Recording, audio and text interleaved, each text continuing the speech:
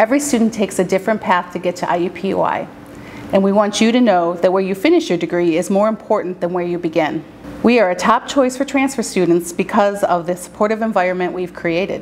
When you enroll in the Purdue School of Science at IUPUI, you join a community of students who strive to make an impact on the world around them. The School of Science offers degrees in nine different departments and programs.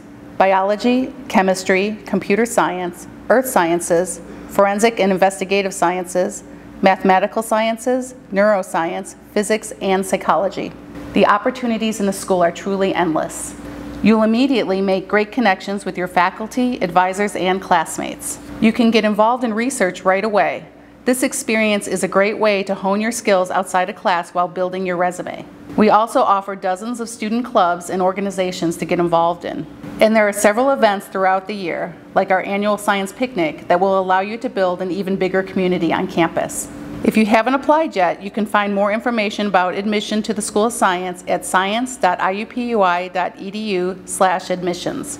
This website details the two different routes for admission as a transfer student, direct admission to science or admission to University College. Generally, completion of an introductory science or math course will qualify transfer students for admission into any of our science majors.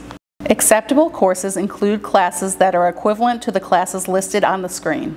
You'll need a C or better in one course or a C minus or better in two courses. There are more details online about specific science programs, so please be sure to visit the website. If you have any questions about applying to or studying in the School of Science, please don't hesitate to reach out to me. I look forward to working with you, and we can't wait to see you in the Purdue School of Science at IUPUI.